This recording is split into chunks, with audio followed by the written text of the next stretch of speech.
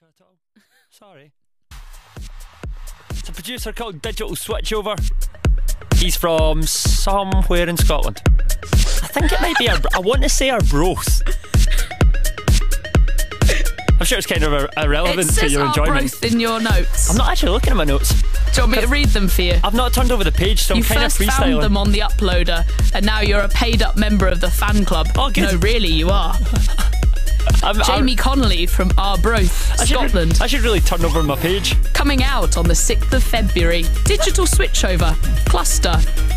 Bonerizing records. You are a shoe in for that job at the museum. You're just so informative. Thank you.